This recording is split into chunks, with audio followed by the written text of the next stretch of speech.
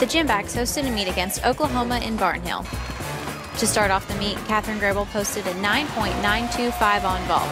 Following close behind was Amanda Wellick with a 9.875. Moving on to bars, Shelby Salmon and Amanda Wellick led the way with a pair of 9.825s.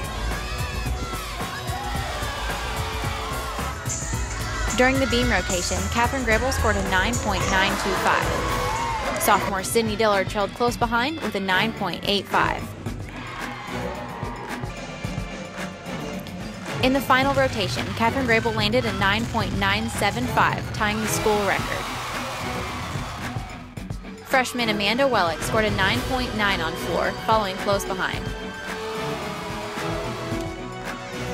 After the meet, the senior Gymbacks were honored during the senior night celebrations. Katherine Grable, Bailey Zumwald, Shelby Salmon, and Scarlett Williams took the floor for the last time during the regular season. Next, the Gymbacks head back to Birmingham to compete in the SEC tournament.